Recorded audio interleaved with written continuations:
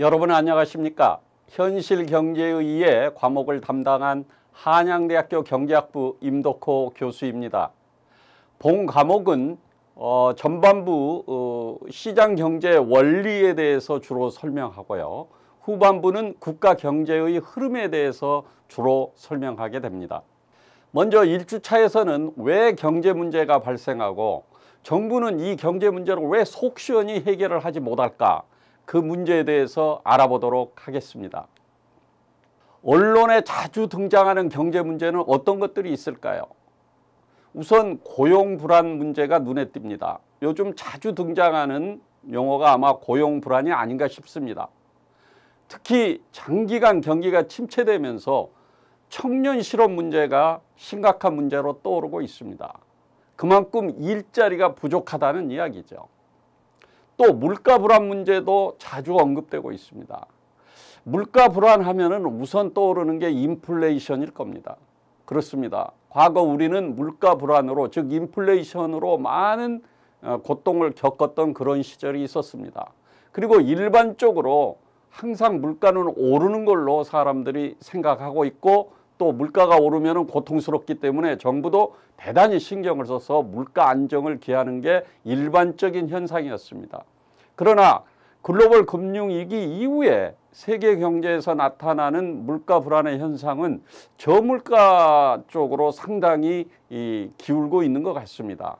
물론 이런 현상이 장기간 지속되리라고 생각지는 않습니다만은 그만큼 글로벌 금융위기 이후에 세계 각국이 겪는 경기 침체가 상당히 심각하다라는 걸 알수 어, 있겠습니다. 심지어 어느 어떤 나라의 경우는 예를 들자면 일본과 같은 경우는 저물가 즉 물가가 하락하는 디플레이션이 너무 어, 문제화돼서 어, 통화를 대량으로 공급하거나 아, 아니면 중앙은행이 금리를 마이너스로 이렇게 책정한다든가 이런 대책까지 내놓고 있습니다. 또 금융시장 불안 문제가 자꾸 제기되고 있습니다. 금융시장이라고 한다면 대표적으로 주식시장과 외환시장을 들 수 있겠죠. 어, 브렉시트, 즉 영국이 EU로부터 탈퇴한 것에 대한 국민 투표가 아, 있었던 걸 기억하실 겁니다. 이 브렉시트가 영국이 탈퇴하는 걸로 국민 투표에서 어, 확정이 되자 세계 금융시장은 요동쳤습니다. 주식시장은 폭락하고 그 다음에 환율은 폭등하는 그런 현상들이 일어났습니다. 우리나라도 예외는 아니었습니다. 이와 같이 금융시장 불안 문제도 어, 전 세계적으로 연계되는 그런 현상들을 보이고 있습니다. 또 유가 불안 문제 자주 접하는 내용 중에 하나입니다. 특히 우리나라 같은 경우는 어, 기름 생산이 전혀 되지 않는 나라이기 때문에 유가 불안, 즉 유가가 상승하면 기름값이 상승하면 경제에 많은 영향을 미치는 게 사실입니다. 그래서 불과 뭐 몇 년 전만 해도 어 유가가 배럴당 115달러 혹은 120달러까지 치솟아서 우리나라 경제에 굉장히 큰 부담을 줬습니다. 그러나 최근에는 보면은 어 유가가 또 폭락해서 즉 30달러 미만으로 폭락해서 또 너무 저유가에 대해서도 걱정을 하고 있습니다. 저유가 시대면 다 좋을 것 같은데 왜 걱정일까요? 산유국들의 경제가 심각해진다는 이야기입니다. 예를 들자면은 사우디 같은 경우는 배럴당 최소한 50달러가 넘어야만 정부의 재정 운용이 가능한 걸로 알려져 있습니다. 그렇기 때문에 긴축 정책을 할 것이고 허리띠를 산유국에서 졸라맨다면은 그쪽에 수출하는 국가들, 대표적으로 한국과 같은 국가들, 그리고 그쪽의 건설 경기가 위축됨으로써 그쪽에 진출해 있는 우리나라의 건설 업체들 대단히 어려움을 겪고 그런 부분들이 바로 우리 경제에 부정적인 요인으로 작용하기 때문입니다. 또 심심치 않게 등장하는 게 양극화 심화 문제입니다. 양극화라는 건 빈부격차를 이야기하겠죠. 이런 빈부격차가 완화되기는 커녕 갈수록 벌어지고 있다는 것입니다. 바로 이런 문제, 특히 요즘은 젊은이들 사이에서 금수저, 흑수저 이런 논쟁도 지금 확산되고 있습니다. 다시 말하자면 이런 양극화, 부의 대불림으로 인한 양극화가 바로 후손까지 연속이 되면서 해결이 더더욱 어려워지고 있다라는 걸 나타내는 의미로 금수저, 흑수저를 어, 사용하고 있지 않나 이런 생각이 듭니다. 그런데 이러한 경제 문제는 왜 발생할까요? 한마디로 이야기하면은 부족하기 때문에 나타나는 것입니다. 즉 부족의 문제입니다. 자원이 무한정 많다고 한다면은 무슨 문제가 있겠습니까? 유가 전혀 걱정 없죠. 일자리 뭐가 걱정이 있겠습니까?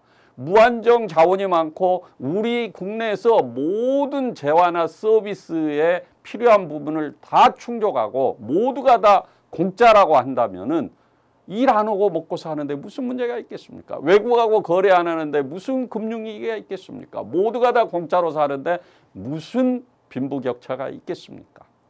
마치 공기는 무한정이 있기 때문에 우리가 이 공기를 획득하기 위해서 우리가 싸우고 우리가 서로 경쟁하고 그런 일은 없지 않습니까?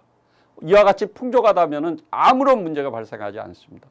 아, 그렇기 때문에 바로 이런 문제는 부족의 문제로 오는 것이고 불행히도 이러한 부족의 문제는 해결이 불가능하다는 데서 우리나라뿐만 아니라 세계 모든 국가는 이런 경제 문제를 안고 가는 게 필연적이다라고 말씀드릴 수 있겠습니다. 그렇다면 부족의 문제는 왜 나타날까요?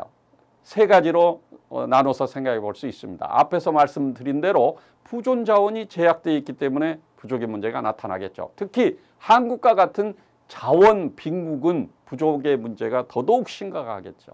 따라서 국제 교육을 통해서 이 문제를 해결하지 않으면 안 되겠고 그 이야기는 해외 의존도가 어느 나라보다 크기 때문에 경제 문제가 더 확산될 가능성이 크다는 걸 근본적으로 안고 있다. 이런 문제가 있죠. 그 다음에 인간의 무한한 욕망이다. 그렇다면은 우리나라보다 훨씬 많은 자원을 갖고 있는 자원 부국들은 문제가 발생하지 않을까요? 그렇지 않습니다. 인간의 욕망은 무한하기 때문에 계속 더 많은 것을 원하고 그 이야기는 역으로 이야기하면 항상 부족함을 느낄 수밖에 없다. 이게 인간의 본성이라는 것입니다.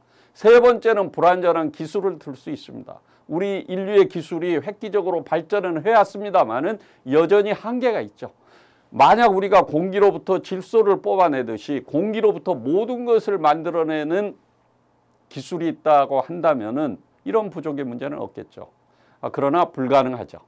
어, 세 가지를 제가 설명했습니다만은 부존 자원의 제약, 불완전한 기술, 이건 자원의 문제라든가 인간의 한계에 의해서 전혀 해결이 불가능한 그런 부분이다 이렇게 볼 수 있겠죠. 그러나 인간의 무한한 욕망은 우리가 조금은 절제한다면 줄일 수 있죠. 그런 의미에서 저는 행복은 충족 나누기 욕망이다라고 제가 아, 방정식을 하나 만들어 봤습니다. 자, 행복하려면 어떻게 해야 되느냐? 충족, 즉 재화나 서비스를 많이 갖게 되면 행복해지겠죠. 어, 따라서 돈을 많이 갖게 되면 행복하다는 의미나 같겠죠. 맞습니다. 따라서 행복해지려면 원하는 걸 충족하는 충족하는 양이 커져야 된다. 그래서 충족시키는 건 필요 조건이라고 생각합니다. 그러나 충족한 양이 많으면 무조건 다 행복할까요? 그렇지 않습니다. 필요 조건일지언정 충분 조건은 아니라는 거죠. 어, 다시 말하자면 분모의 욕망이라는 게 있습니다. 앞에서 말씀드린 대로 인간은 무한한 욕망을 갖고 있기 때문에 충족한 것보다 욕망의 강도가 더 커진다면은 아무리 많이 가져도 불행해지죠. 불행해지죠. 그렇기 때문에 조금은 덜 갖더라도 우리가 욕망을 제어할 수 있는 바로 그런 부분이 행복 추구의 지름길이 아닌가 이런 생각이 듭니다. 따라서 저는 행복은 멀리 있는 게 아니라 여러분 마음속에 있다.